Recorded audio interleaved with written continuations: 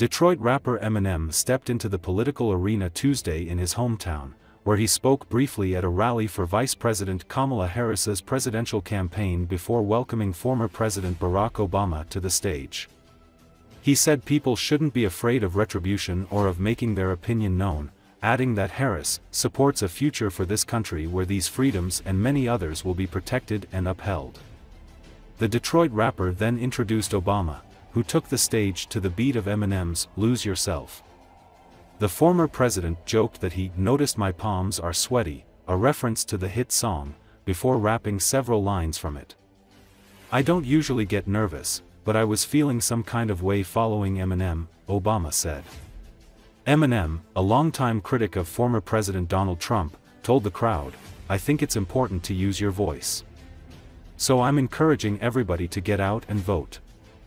He said people shouldn't be afraid of retribution or of making their opinion known, adding that Harris supports a future for this country where these freedoms and many others will be protected and upheld.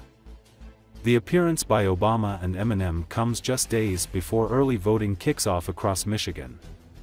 Democrats hope the star-studded event, which also featured former Lions wide receiver and NFL Hall of Famer Calvin Johnson, will boost enthusiasm among voters.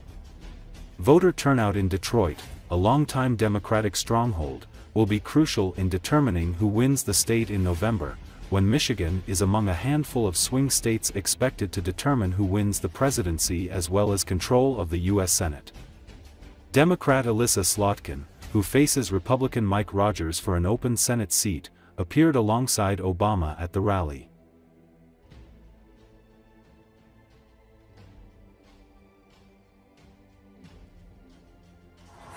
And I think it's important to use your voice. So I'm encouraging everybody to get out and vote, please. I also think that people shouldn't be afraid to express their opinions.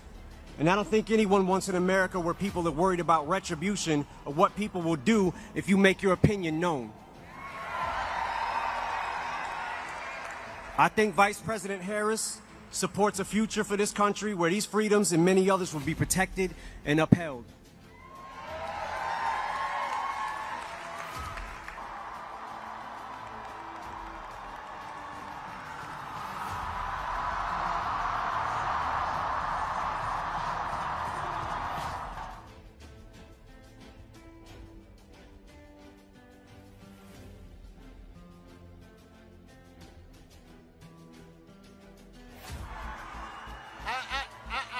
Gotta say, you know, I, I have done a lot of rallies, so I don't usually get nervous.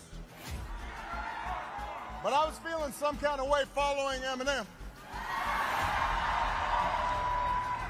Now I notice my palms are sweaty, knees weak, arms are heavy, vomit on my sweater already, mom's spaghetti. Nervous, but on the surface I look calm and ready to drop bombs, but I keep on forgetting.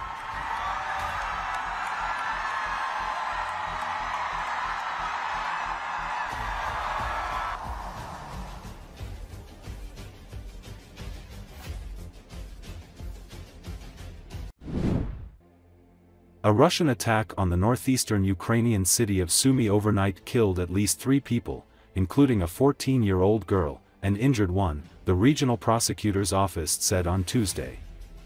The strike targeted residential and critical infrastructure, according to local authorities. Video released by Sumy's State Emergency Service showed rescue workers dousing flames and clearing debris in darkness at the scene. Ukrainian President Volodymyr Zelensky reacted to the attack on his Telegram page, saying what needed to be done to protect Ukraine from such Russian terror.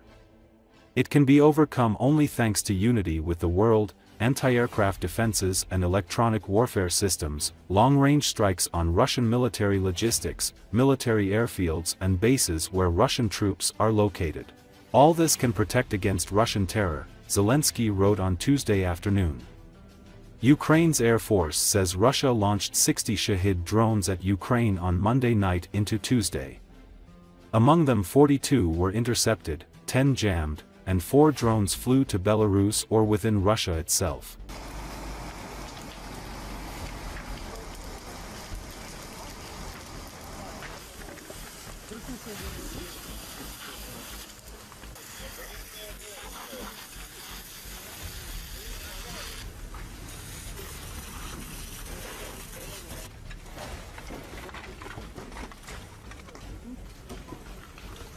Сейчас буду, на.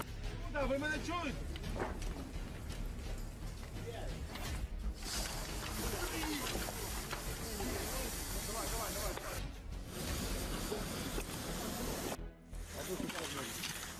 Если что, тормозки со светом. Давай, давай. А он один. Аккуратно, ногам. Давай, давай, давай, давай. Всем. По поводу. Вот это хуйню выгребаем.